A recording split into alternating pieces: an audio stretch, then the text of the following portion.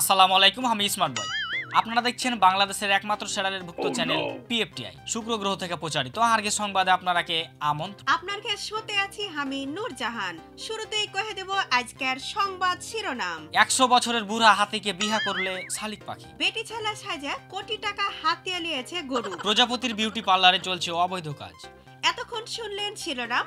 এখন কহে দেব সব গালাই। বেশ কিছুদিন আগে ভোলাহাট উপজেলার বুড়াপাড়া গ্রামে একশো বছরের বুড়া হাতিকে বিহা করেছে সালিম ডোলপাড়া গ্রামের শালিক পাখিকে। টার্গেট বিহার খবর ইন্টারনেটে ভাইরাল হয়। এলাকাবাসী জানতে পারলে তারাকে খারাপ কথা শোনায়। বুড়া হাতির বিহার খবর কোনোভাবেই তারা মাইনা নিতে পারছে না। তবে বুড়া হাতিকে বিহা করে শালিক পাখি খুব খুশি। আর তার দাবি, তারা দুজন দুজনাকে ভালোবেসে বিয়া করেছে। তাতে মানুষের কি যায় আসে?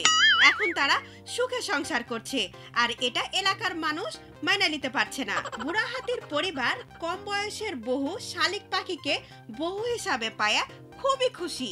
এদিকে বেটি ছেলে সাইজা বহুদিন থেকে সবার কাছে কোটি টাকা হাতিয়ে লিছে গরু। গতকাল রাতে গরু বেটি ছেলে সাইজা বকরিকে কল দিয়ে প্রথমে প্রেমের প্রস্তাব দেয়।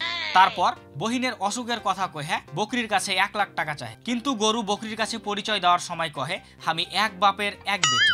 অন্যদিকে প্রজাপতির বিউটি পার্লারে চলছে দিনের পর দিন অবৈধ কাজ। গোপন সংবাদের ভিত্তিতে হারা জানতে পারি, বিউটি পার্লারে চলছে অবৈধ কাজ।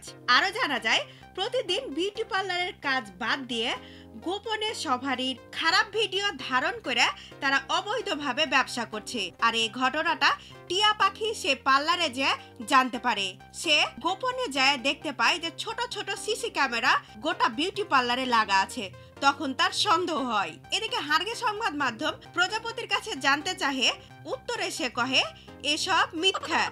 আমার বিউটি পার্লারের বদনাম করার লাগে আমার পিছনে সবাই লাগা পড়েছে। পুলিশ তখন টিয়া পাখিকে কহে এই ধরনের তথ্য আমার কাছে আসছে। আমরা খুব দ্রুত প্রজাপতির বিউটি পার্লারে যায় অভিযান চালাবো। প্রিয় দর্শক শেষ করুন আজকের খবর। ফের নতুন নতুন খবর নিয়ে চলে আসব আপনার মাঝে। শোতে থাকেন দেখতে থাকেন হারগে সংবাদ।